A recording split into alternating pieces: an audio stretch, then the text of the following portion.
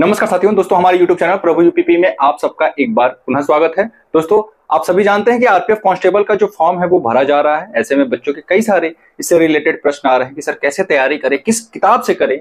तैयारी करने का जो सही तरीका है, कैसे हम इसमें अच्छा स्कोर कर सकते हैं, उन सभी बातों पर हम इस वीडियो के माध्यम से चर्चा करने जा रहे हैं। दोस्तों, आप सभी जानते हैं कि नंबर ऑफ़ सीट जो है वो बहुत ही कम है। बयालीस, केवल और केवल बयालीस पदों पर जो है आपकी सीटें जो है ये निकाली गई है कांस्टेबल के लिए। इसी में आपको फाइट करना है। लेकिन जो स्ट्रेटेजी मैं बताने जा रहा हूँ, अगर आप इसे फॉलो करते हैं तो मैं हंड्रेड वन परसेंट कह रहा हूँ कि आपको सिलेक्शन से कोई नहीं रोक सकता है। मैं रिटर्न एग्ज़ाम की बात कर रहा हूँ, ठीक है? फ़िज़िकल तो आप जानते हैं कि ये आपके ऊपर डिपेंड करता है कि आप किस तरीके से फ़िज़िकल की तैयारी कर रहे हैं। लेकिन हाँ जो स्ट्रेटेजी मैं बताने जा रहा हूँ दोस्तों, इसे अगर आप अंत तक देखते हैं, यकीनन ये आपके लिए वर्क करने वाला है। दोस्तों, किसी भी एग्ज़ाम की जब आप तैयारी करते हो ना तो उसके लिए एक सटीक स्ट्रेटेजी बहुत ज़रूरी हो जाती है। बिना स्ट्रेटेजी बनाए, चाहे अगर आप युद्ध के भी मैदान में जा रहे हो ना तो वहाँ पे भी दुश्मन को मारने के लिए आपको एक प्लानिंग करनी पड़ती है। बिना प्लानिंग करे अगर आप युद्ध के मैदान में पहुँच गए, पहुँच जाओगे तो आप जीत करके नहीं लौटोगे। हारना तय है। ठीक उसी प्रकार अगर आप किसी भी कम्पिटेटिव एग्ज़ाम में बैठने जा रहे हैं तो उसको लेकर के आप प्लानिंग बनाइए। ज़रूरी नहीं कि आप मेरी प्लानिंग को फॉलो करें, आप खुद से भी फॉलो खुद से भी प्लानिंग जो है बना सकते हैं। लेकिन मेरी कुछ स्ट्रेटेजी है, अगर आप इसे फॉलो करें तो यकीनन आपको फ़ायदा होगा। आप भी इसे देख सकते हैं। दोस्तों, सबसे पहले आपको क्या करना है कि सिलेबस निकाल करके प्रिंट आउट इसको आपको जहाँ तैयारी कर रहे हो, आप बैठ करके जहाँ पढ़ते हो, वहाँ के ठीक सामने जो है आप बिल्कुल चिपका दो। सिलेबस का बहुत अहम रोल होता है दोस्तों। हम सभी क्या करते हैं कि हमारे सिलेबस में जो रहता है, हम उसे ध्यान से नहीं देखते हैं और यही हमसे गलती हो जाता है। बिना सिलेबस को देखे अगर आप पढ़ेंगे तो ज़ाहिर सी बात है आपसे गलतियाँ होंगी, कुछ ऐसे टॉपिक छुट जाएँगे कि जो कि इंपॉर्टेंट है। तो सबसे पहले आपको क्या करना है? सिलेबस को निकाल करके सामने रखना है। अब देखिए, आप सभी जानते हैं कि 120 प्रश्न पूछा जाएगा। इस 120 प्रश्न में से 50 प्रश्न जो है, ये अकेले जीके का है, जीएस का पोर्शन हो गया। उसके बाद 35 क्वेश्चन जो है 35 क्वेश्चन ये आपका मैथ का हो गया। और फिर उसके बाद 35 क्वेश्चन आपका किसका हो गया? रीजनिंग का। ठीक है? तो इस तरीके से 120 क्वेश्चन का जो है, ये तीन भाग में बटा हुआ है। तो आप देख रहे हैं कि जीएस का जो एरिया है, ये अच्छा खासा है। और ऐसा कुछ नहीं है कि जीएस में आपसे कुछ अलग से कुछ पूछा जाएगा, जो कि अन्य एग्जामों में ना आते हो। हाँ इतना ज़रूर है कि आपको रेलवे से संबंधित की रेलवे जो है कि कितने जोन में विभाजित है, कितने डिवीज़न में विभाजित है, रेलवे से रिलेटेड कुछ इतिहास को आपको जानना पड़ेगा कि सर्वप्रथम भारत में रेल किसने प्रारंभ किया था। ये सारी चीज़ें जो है, आपको पता होनी चाहिए, कुछ बेसिक जो है कि क्वेश्चन है। रेल डिपार्टमेंट से रिलेटेड रेलवे डिपार्टमेंट से तो उसे आपको जो है पढ़ लेना है बस शॉर्ट फॉर्म में, ठीक है? उसके अलावा जीएस की जो बाकी चीज़ें हैं हिस्ट्री और कंस्टिट्यूशन ज्योग्राफी है ना? और जितने भी आपके एरिया है, वो तो पूछे ही जाएँगे। इकोनॉमिक्स वगैरह सारा कुछ आपके सिलेबस में है। स्पेशल एक वीडियो में लेकर के आऊँगा कि जो हमारा आरपीएफ कांस्टेबल का सिलेबस है, वो क्या है। उस वीडियो के माध्यम से आपको क्लियर हो जाएगा कि क्या क्या सिलेबस में है आपके, ठीक है? तो सबसे पहले आपको क्या करना है कि सिलेबस निकाल करके सामने रखना है, आपको देखना है कि क्या क्या आपके सिलेबस में मौजूद है। दूसरे नंबर पर हमारा जो आता है, वो है आपका बेस्ट बुक भाई सिलेबस कहाँ से कवर करोगे? सिलेबस बहुत लोग ऑनलाइन कवर कर ले, कर लोगे, ठीक है, लेकिन बेस्ट बुक जो है बेस्ट बुक ये बड़ा इंपॉर्टेंट हो जाता है कि किस किताब से पढ़े। बच्चों के बहुत सारे प्रश्न आते हैं। तो देखिए, सबसे पहले मैं इतना ज़रूर कहूँगा कि वन लाइनर क्वेश्चन आप लोग ज़रूर पढ़े। रेलवे में वन लाइनर क्वेश्चन बहुत पूछे जाते हैं, ठीक है? इस समय जो है वन लाइनर क्वेश्चन बहुत अधिक पूछे जाते हैं, ठीक है? तो वन लाइनर टाइप क्वेश्चन बहुत ज़्यादा पढ़े। और कोशिश करें कि लूसेंट पूरा का पूरा आप पढ़ लो। स्टैटिक जीके के क्वेश्चन बहुत आते हैं दोस्तों। स्टैटिक जीके हो गए उसके बाद आपका साइंस ठीक है? साइंस में खास तौर से मैं बता दूँ जो बायो के प्रश्न है ना ये बड़े इंपॉर्टेंट हो जाते हैं रेलवे की दृष्टि से। जब भी आप रेलवे का कोई भी परीक्षा देने जा, देने जाते हो ठीक है? इसके अलावा जो आपका संविधान है कॉन्स्टिट्यूशन ये भी बड़ा महत्वपूर्ण हो जाता है। बहुत अच्छे से इसको पढ़ जाइएगा। पाँच क्वेश्चन कम से कम मैं बता रहा हूँ पाँच क्वेश्चन छह से सात क्वेश्चन कहीं नहीं गए हैं कॉन्स्टिट्यूशन से। पाँच क्वेश्चन प्लस ही आने हैं। इसके बाद आपको करंट अफेयर बहुत अच्छे से देखना है। करंट अफेयर आपको कोशिश करने की अगर आप तैयारी कर सको तो आप लास्ट डेढ़ से दो साल का ज़रूर पढ़ लें। देखिए मैं आ, हमेशा से बच्चों को सही सजेशन देता आया हूँ और मेरी कोशिश यही रहती है। बहुत सारे लोग आपको बोलेंगे कि एक साल का पढ़ लो आपका सिलेक्शन हो जाएगा। मैं कहता हूँ नहीं दो साल का करंट अफेयर देखो। इतना जल्दी आपकी परीक्षा नहीं होगी? ये आरपीएफ कांस्टेबल जो आप देख रहे हो ना इसकी परीक्षा इतनी जल्दी नहीं होगी।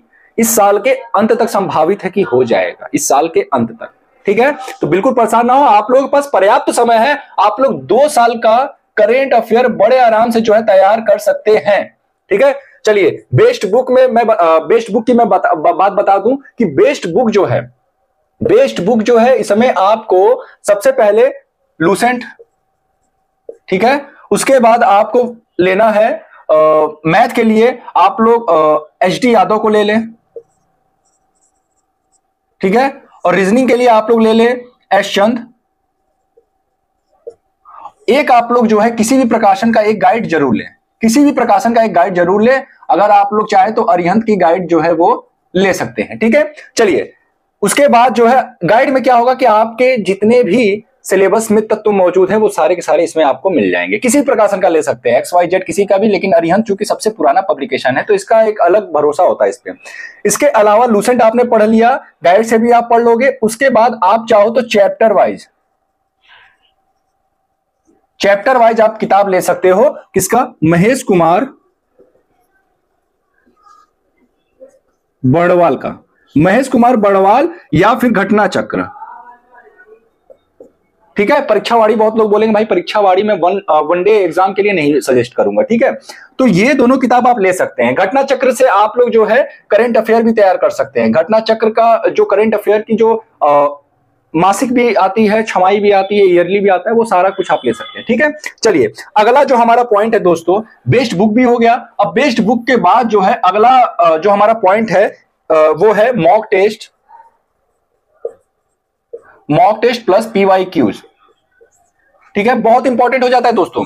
आपने सिलेबस का, आपने सिलेबस का 60 परसेंट भी अगर कवर कर लिया ना तो आपको मॉक टेस्ट लगाने प्रारंभ कर देने हैं। ठीक है? आपने सिलेबस के 60 परसेंट चीज़ों को अगर कवर कर लिया है तो उसके बाद आपको मॉक टेस्ट लगाना प्रारंभ कर देना है और मॉक टेस्ट के साथ साथ आपको सप्ताह में कम से कम कम से कम दो आपको जो है पीवाई क्यू ज़रूर लगाने हैं। PY Qs previous year question ठीक है? उसको आपको ज़रूर सॉल्व करना है। उससे क्या होगा कि आपको पता चलेगा कि जो क्वेश्चन का जो लेवल है वो क्या रहता है कहाँ कहाँ से पूछा जाता है और कौन सा टॉपिक हमारी परीक्षा की दृष्टि से इंपॉर्टेंट है, ये सारा चीज़ आपको आइडिया लग जाएगा, ठीक है? तो mock test plus PY Qs आपको बहुत हेल्प करेंगे।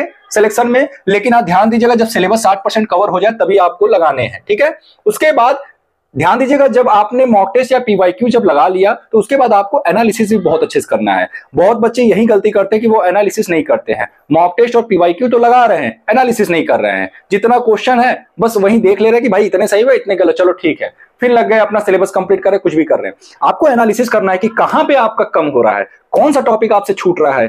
क्या आपको और पढ़ना है? ये होता है एनालिसिस ठीक है? चलिए, अगला जो हमारा टॉपिक है दोस्तों, वो है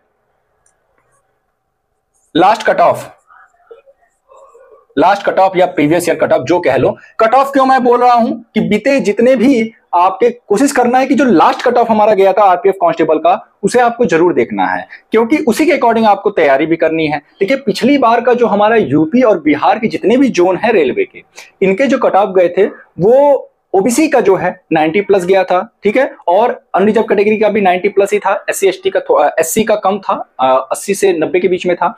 तो आपको कोशिश यही करना है कि जो आपका जो आपका स्कोर आए वो नब्बे से सौ के बीच में आए। नब्बे से सौ के बीच में, क्योंकि आप जानते हैं कि इस बार जो आपकी वैकेंसी है, ये भी बहुत कम निकाली गई है। निकाली तो गई है, निकाली तो गई है पाँच सालों के बाद, लेकिन निकाली बहुत कम गई है। इसमें कोई दो राय नहीं है। और जानते हैं कि ऑल इंडिया वैकेंसी में बयालीस सौ आठ वैकेंसी मतलब कुछ नहीं होता है। इसके लिए आपको नब्बे से सौ के बीच में आपको टारगेट करना पड़ेगा एक सौ बीस नंबर में से। एक क्वेश्चन एक नंबर का होगा तो 120 क्वेश्चन 120 नंबर का है। अगर आपने 90 से 100 के बीच में स्कोर लाया तो यकीनन आपके सिलेक्शन के चांसेस बढ़ जाएँगे। मैं ऐसा इसलिए हो सकता है कि आपका सिलेक्शन 80 से 90 के भी बीच में हो जाए। लेकिन मैं क्यों कम पे आपको जो है टारगेट सेट करूँ? मैं चाहता हूँ कि आप मैक्सिमम नंबर लाए, ताकि आप सीना ठोक करके कहो कि आपका सिलेक्शन जो है रखा हुआ है इस बार। दोस्तों वैकेंसी भले ही कम है, लेकिन वैकेंसी है। बयालीस सौ आठ वैकेंसी में भी बहुत सारे बच्चे सिलेक्शन लेंगे, इस बात को आप नकार नहीं सकते हैं। आपको तैयारी करना ही पड़ेगा। अगर आप एक्सपीरियंस हैं, आपके हाथ में सिर्फ़ और सिर्फ़ तैयारी करना है वैकेंसी बढ़वाना या घटवाना नहीं है। यही हकीकत है। और ये न सिर्फ़ आपको फेस करना पड़ रहा है, हम लोग को भी फेस करना पड़ रहा है। क्योंकि मैं भी अगर सब कुछ ठीक रहा तो आरपीएफ, सब इंस्पेक्टर का फॉर्म मैं भी भरूँगा और मैं भी तैयारी करूँगा। आप लोगों के साथ हम भी लगेंगे और एग्ज़ाम निकला या नहीं निकला, ये कोई क्लियर नहीं बता सकता है, कोई कंफर्म नहीं कर सकता है। लेकिन हाँ तैयारी के दौरान बहुत सारी चीज़ें सीखने को मिलती हैं। तो दोस्तों, आप सभी दम से तैयारी करें सिलेक्शन के बारे में ना सोचें प्रेजेंट में रहें और मेहनत करें। तो दोस्तों, फिर मिलते हैं किसी अन्य वीडियो के साथ। तब तक के लिए जय हिंद, जय भारत।